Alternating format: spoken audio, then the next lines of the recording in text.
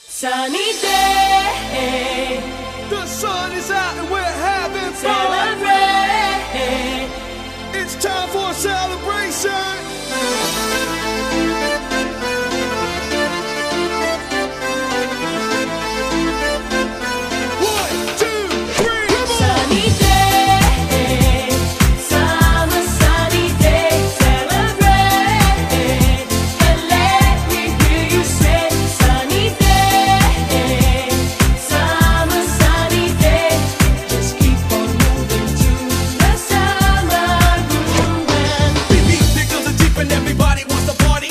Sexy ladies trying to show their sexy